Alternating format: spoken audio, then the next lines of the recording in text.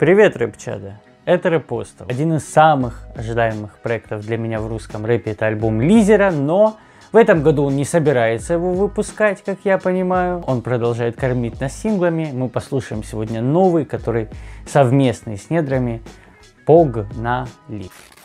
Не-не-не, стоп. Я устал говорить об этом, правда. Но подпишитесь. Подпишитесь.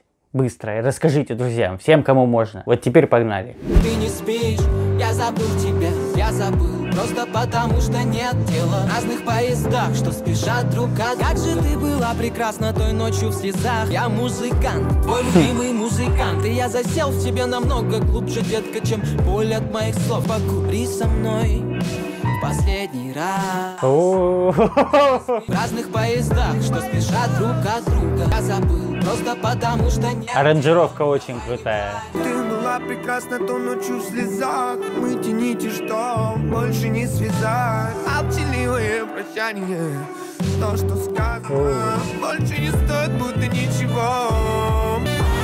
Ты не спишь, я забыл тебя, я забыл. Просто потому что нет дела Как кик с пианино классно.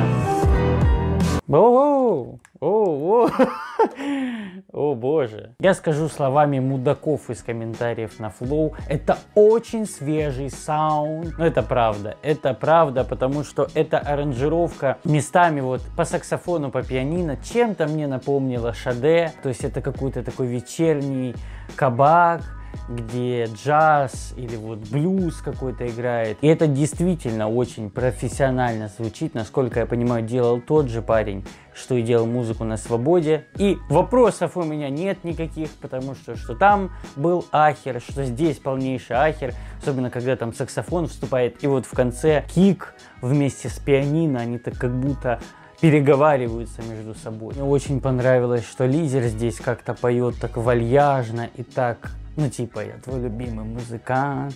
Ну, короче. И это даже какой-то прикол Андерсона Пака, вот именно в образе, да, в такой какой-то развязанности, в дерзости. Но по исполнению очень нежно и мелодично, классно. За недрами я практически не слежу, но тоже я выцепил у него какие-то вот блюзовые моменты. И это супер странная, но очень удачная комбинация. И у меня сложилось ощущение, что обычно песни Лизера говорят с молодежью на доступном, понятном языке, то эту как будто могут слушать уже немножко более степенные, более взрослые люди под бокал виски. Мне очень интересно послушать, какое у вас ощущение, поэтому напишите об этом в комментариях и подписывайтесь обязательно на нас в Инстаграме, в Телеграме, в Ютубе и молитесь за репосту.